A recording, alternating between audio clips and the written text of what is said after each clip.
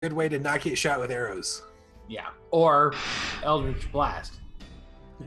But being prone in water is not a good way to survive like boiling or Yeah. I can't boil water, but I can certainly throw some lightning let's see, someone throwing a toaster in there.